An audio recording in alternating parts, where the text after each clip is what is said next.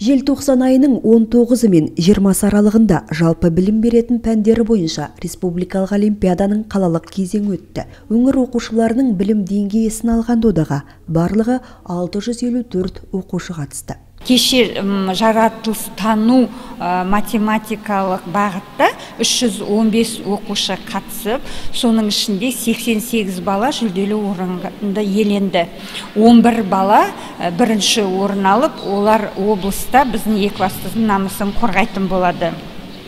Бүгін 339 бала гуманитарлық бағытта қатысып жатыр. Екі күнге созылған олимпиада 13 пән бойынша өткізілді. Оның біреуі жаратылыстану математикалық болса тағы бірі қоғамдық гуманитарлық бағыт. Темірдей тәртіпте ұйымдастырылған бұл сайыста сүрінбегендер лайықты тұғырларынан көрінді.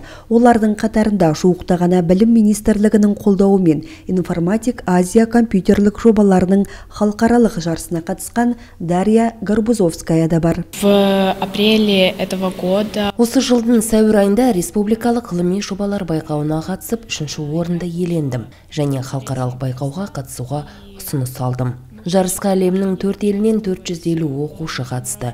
Мен барлық сынақтардан сәтті өтіп үшінші орын жүлдегері атанып қола медаль қанжығаладым.